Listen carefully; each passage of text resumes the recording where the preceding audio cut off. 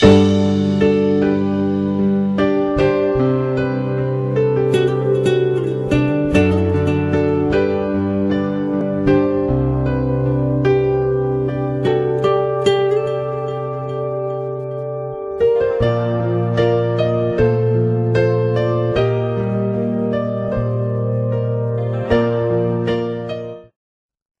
sejahtera dan shalom para pemirsa yang saya kasihi di mana pun Anda berada dan kita memasuki masa-masa sukacita yaitu Natal. Natal identik dengan kasih Allah untuk semua orang.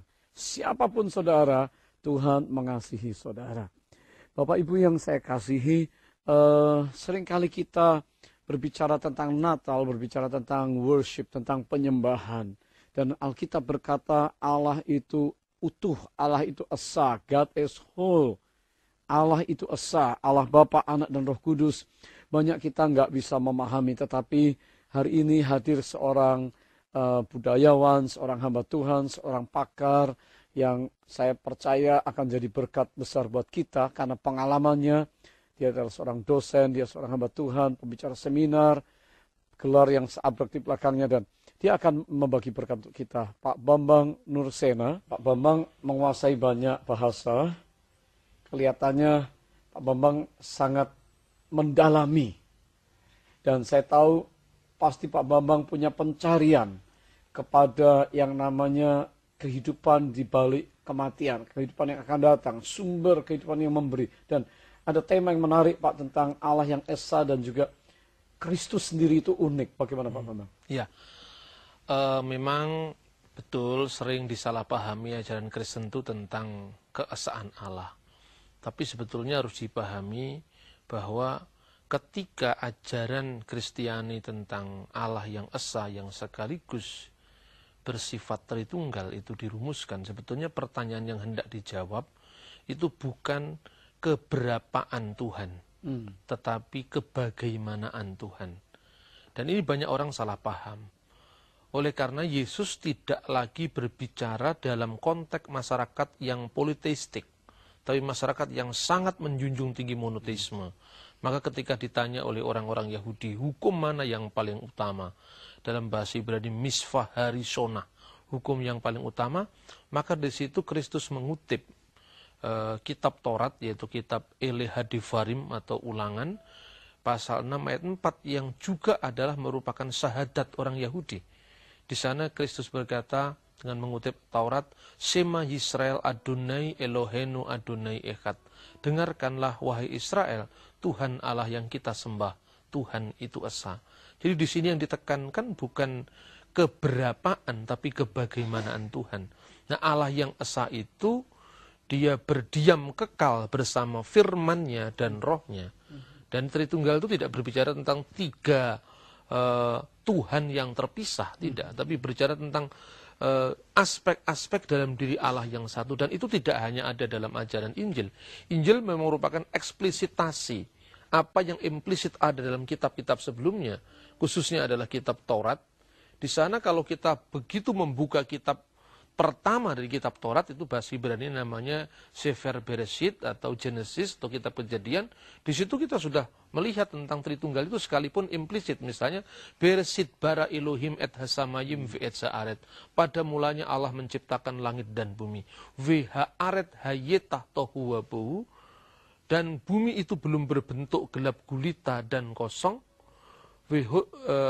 Vehosek uh, alfene uh, ham, uh, dan kegelapan menutupi uh, Tehom Samudra Raya wiruah Elohim merakefet alfin hamayim dan roh Allah itu melayang-layang merangkumi meneta, uh, apa itu mengerami permukaan air artinya memberi hidup pada ciptaan mula-mula itu wa yumir Elohim dan berfirmanlah Allah jehiur wa jehiur. Di sini dalam aktivitas penciptaan itu Allah menciptakan segala sesuatu dengan firmannya dan rohnya. Roh Allah itulah hayat ilahi yang memberi hidup dan menyuruhkan hidup pada ciptaan. Dan firman Allah itulah yang mewujudkan kehendak Allah menjadi kenyataan jadi maka jadilah. Itu Tritunggal. Wah, sangat menarik tentang Tritunggal, tentang keesaan Allah. Kita tetap bersama-sama dalam This is Your Time.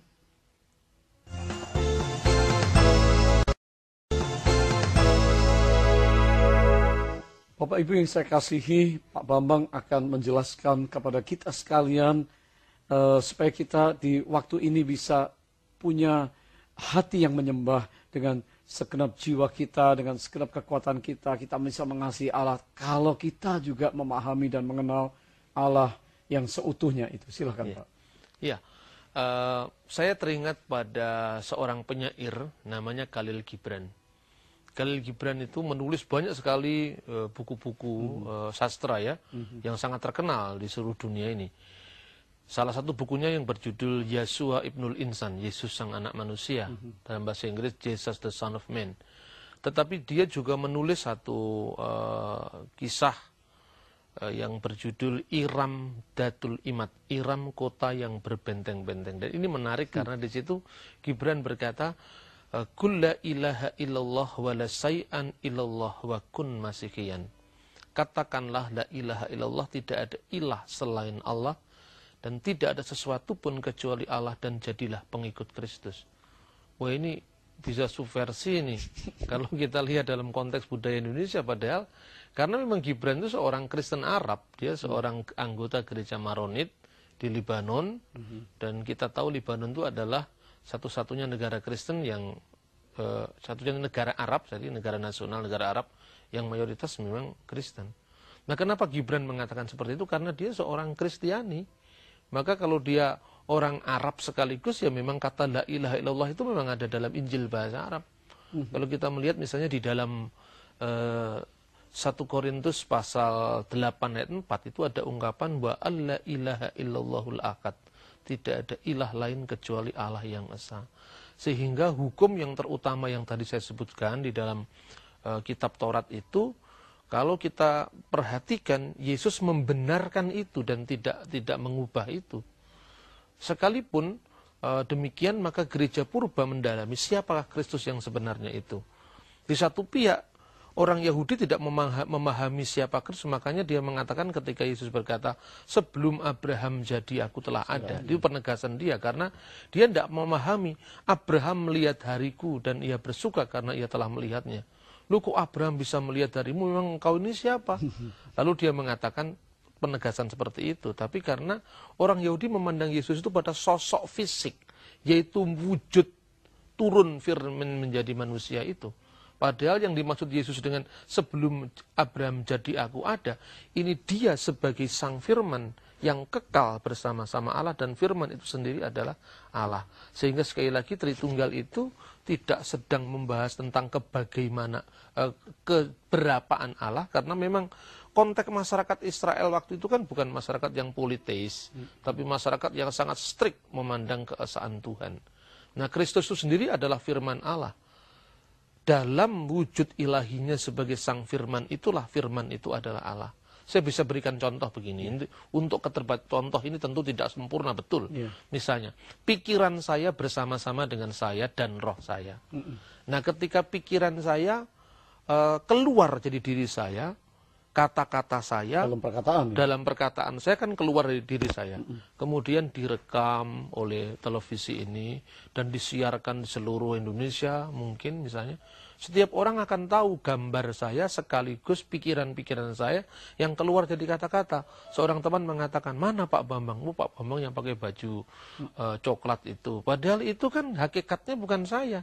Tapi itu penjilmaan diri saya. Sebelum pikiran saya keluar menjadi kata-kata, pikiran saya sudah ada dalam diri saya. Kalau misalnya keping VCD itu rusak, pikiran saya tidak ikut rusak. Karena ya, ya, pikiran ya. saya ini meninggalkan diri saya Eh, keluar dari diri saya, tapi sekaligus tetap berada dalam diri saya.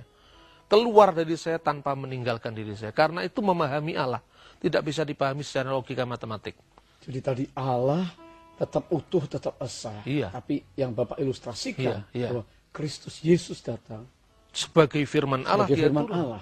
Nah, oleh karena itu kalau di dalam Firman pengakuan iman gereja purba, mm -hmm. kanun al-iman itu dikatakan uh, dilahirkan dari Bapa sebelum segala abad. Allah dari Allah, terang dari terang, Allah sejati dari Allah sejati, dilahirkan tidak diciptakan. Mana ada orang lahir dari Bapak kan nggak ya, ada. Ya, Artinya bahwa memang Tuhan itu tidak beranak secara fisik. Ya, ya, ya. Nah, e, dikatakan lahir tapi tidak tercipta. Karena sebelum firman itu keluar dari diri Allah untuk menyatakan siapa Allah, firman itu sudah menetap dalam diri Tuhan. Sebelum pikiran saya keluar jadi kata-kata, pikiran saya sudah bersama-sama dengan saya.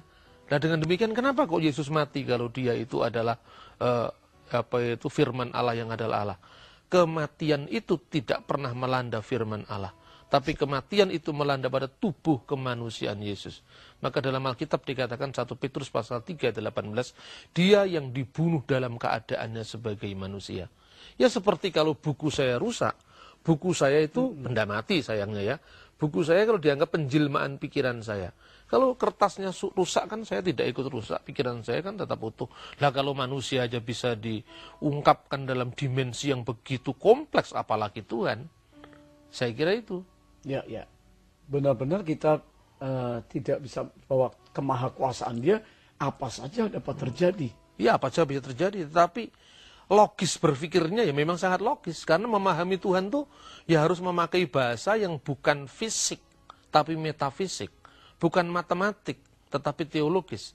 Teologis itu kan transendental, tidak bisa ya. satu Tuhan disamakan dengan satu kelereng kan. Ya, ya, ya. Kalau misalnya, duh waktu Yesus itu disalibkan apakah dia mati? Loh, dia memang mati sebagai manusia memang. Manusia. Tapi di surga tinggal berapa loh? Yang satu dengan Allah itu bukan fisik kemanusiaan mm-hmm. Yesus. Yang satu dengan pikiran dengan saya bukan kertas buku mm-hmm. saya tetapi pikiran saya. Mm-hmm. Kan begitu. Jadi di surga tinggal berapa ya? Tentu ini pertanyaan yang tidak bisa membedakan antara ilmu matematika dan ilmu teologi ya. Karena kalau dikatakan misalnya Tuhan menyertai orang yang beriman. Berapa jumlah orang yang beriman di Jakarta? Kalau katakanlah ada 100 ribu orang yang beriman, di 100 ribu tempat yang berbeda Tuhan beserta dengan 100 ribu. Apakah Tuhan jadi 100 ribu kan tidak. nah saya kira itu. Jadi perbedaan antara logika teologi ya, dan ya. logika matematika. uh, banyak orang berpikir, wah dia uh, apa manusia berarti dosa. Tapi Allah kan bilang bahwa dia dijadikan dosa karena kita. Ya, ya. Waktu dia menerima penghukuman kutuk itu ya Pak ya? Ya, Alkitab sekali lagi menegaskan bahwa dia pada waktu yang singkat telah dibuat lebih rendah dari para malaikat. Kapan waktu yang singkat dalam bahasa aslinya itu braksuti. Waktu yang singkat ini ketika firman menjadi manusia tadi. Nah, di dalam tubuh kemanusiaannya yang sementara, yang terbatas, itulah dia mengalami menanggung apa yang seharusnya kita tanggung. Itulah wujud daripada kasih ilahi sebetulnya. Kalau dulu Adam yang berdosa kan kita tidak ikut-ikut berdosa. Iya. Kenapa iya. kita ikut menuai buahnya? Kita di dunia ikut sengsara, padahal kan mestinya kita diciptakan dengan planning keabadian. Ketika Adam berdosa, kenapa kita ikut-ikut merasakan sengsaranya kehidupan di dunia ini? Nah, kalau dulu kita dihukum karena satu orang mengalami kesalahan, melakukan kesalahan, Sekarang. maka demi keadilan Tuhan, oleh satu orang yang benar kita juga dibenarkan. Jadi sebetulnya cocok dengan keadilan ilahi kalau kita lihat dari segi Allah itu adil ya. Allah itu adil tapi juga kasih. Iya, iya, iya. Ya. Dan inilah dimensi yang luar biasa yang perlu dicermati untuk masa Natal ini bahwa dia adalah Allah yang adil, dia tahu apa saja yang kita lakukan tapi dia juga dengan kemurahannya, dengan grace anugerahnya, dia mengasihi kita tanpa batas juga. Iya. Ya? iya. Sehingga uh, kalau Yesus sebagai manusia dia memang dia bisa, bisa berdoa kepada Bapaknya hmm. karena hmm. tadi itu Pak ya. Iya, iya, Tetapi iya. dia adalah Allah itu sendiri hmm. sehingga kalau kita memahami keesaan Allah hmm. dan keunikan Yesus maka kita akan mengerti kepada siapa hmm. kita berbakti dan melayani. Supaya tidak menimbulkan bahasa yang salah paham, firman Allah itu telah menjadi manusia. Hmm. Firman Allah itu adalah sepenuhnya Allah. Ketika dia menjadi manusia, kemanusiaannya itu lahir dari Bunda Maria. Nah, uh, Maria dipilih oleh Tuhan karena itu dikatakan terpujilah engkau di antara semua perempuan dan terpujilah buah tubuhmu. Buah tubuh Maria itu Yesus. Jadi dalam dimensi kesementaraan manusia Yesus adalah anaknya Maria, Ibnu Maryam. Tetapi sebagai firman Allah Alkitab mengatakan, kalau Allah itu Bapamu, kamu pasti mengasihi aku. Sebab aku keluar dan datang dari Allah. Yohanes pasal 8 ayat 42. Dia yang keluar dari Allah kan tidak mungkin daging dan darah. Ya. Allah itu roh, Allah itu gaib, Allah itu bukan fisik, bukan badan. Maka yang keluar dari wujud Allah, itulah firman Allah. Nah maka dikatakan yang dia sepenuhnya Allah itu bukan menunjuk pada manusia Yesus. Tapi menunjuk kepada firman Allah yang adalah Allah. Dan dia menjadi manusia sepenuhnya manusia sebagai putra Maryam. Saya kira tidak sulit dipahami dengan logika dan akal sehat. Dan uh, karena Yesus selama dalam hidupnya dia tidak berbuat dosa. Sehingga memang pada akhirnya Allah sangat menyiapkan dia, meninggikan dia di atas segala Allah ya Pak. Men, ya karena uh, dia tidak berbuat dosa dan itu tampak di dalam kitab surat Ibrani dan juga surat Filipi. Maka Allah telah menjadikan Yesus yang kamu salibkan itu sebagai Tuhan, sebagai penguasa, bukan dalam pengertian ilah atau Elohim, sebagai penguasa uh, apa itu dan Kristus. Nah, karena dia tidak berdosa, maka dia bisa mewakili uh, apa itu manusia untuk kembali dilayakkan di hadapan Tuhan yang Maha Suci. Karena kalau kita tidak suci, tidak bisa ketemu dengan yang Maha Suci, maka Kristus datang dengan mencontohkan, memberikan eh, teladan, bahkan dia melibatkan seluruh manusia untuk suci, maka dia menebus manusia. Jadi menebus itu maknanya seperti itu. Bapak Ibu yang saya kasihi luar biasa, uraian dari Pak Bambang, kiranya kita diberkati dan tetap bersama kami. Pak Bambang akan menyimpulkan hari ini tentang Allah yang Esa yang kita sembah di dalam nama Yesus Kristus. Saudara mungkin ada di antara kita yang bertanya, Allah itu Esa. Tetapi saudara mungkin membaca dalam Injil Lukas pasal yang ketiga ayat 21 dan kedua, waktu Yesus memulai pelayanan dan dia dibaptis oleh Yohanes, maka dikatakan langit terbuka, Allah berfirman, lalu nampak Roh Kudus seperti burung merpati, Yesus ada ada di, di, di Sungai Yordan. Gimana Pak Bambang? Jadi seolah-olah terpisah. Ya, gitu ya. terpisah ya. begitu. Ya. Uh, kita harus bisa membedakan uh, apa ini Trinitas dalam pengertian hakiki, jadi hakikat Allah, di mana Allah firman dan rohnya itu satu, dan trinitas di dalam penampakan, yaitu di dalam ekonominya. Kalau kita melihat bahwa burung merpati itu kan bukan roh kudus. Itu kan simbol kehadiran roh kudus. Itu yang namanya teofani, penampakan ilahi. Sebab roh kudus tidak hanya muncul dalam bentuk burung merpati, simbolnya. Di dalam kisah Rasul, ketika peristiwa Pentakosta itu, dia dalam bentuk lidah-lidah api. Uh, roh itu juga berarti ruah, angin.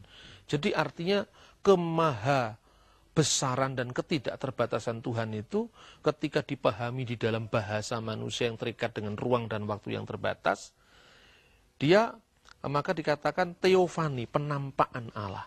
Jadi yang satu dengan eh, firman yang satu dengan Allah dan rohnya itu bukan wujud nuzul atau wujud Yesus ketika turun ke dunia atau bukan wujud teofani Roh Kudus dalam bentuk burung merpati tapi firman Allah yang bersama-sama dengan Allah bersama dengan rohnya.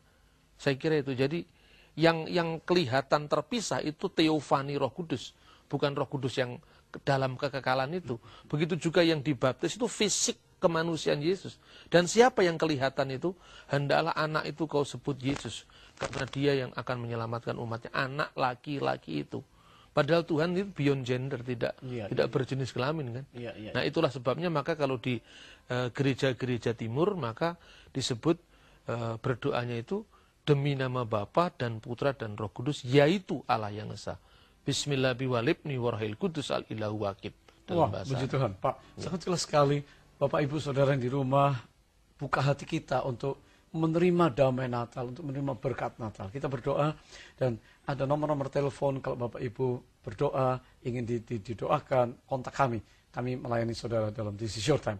Mari kita berdoa sejenak saudara. Bapak surga, terima kasih dalam nama Yesus. Kami lebih mengerti dan kami mau belajar di masa damai, masa Natal ini supaya kami memberkati dan jadi berkat buat banyak orang di sekitar kami. Tuhan, terima kasih karena Engkau mewahyukan dirimu begitu hebat, begitu luas, namun dapat dimengerti oleh kami yang sangat sederhana. Terima kasih untuk kehadiranmu dalam nama Yesus. Amin. Salam jumpa dalam This is Your Time pada waktu yang akan datang. Tuhan memberkati saudara.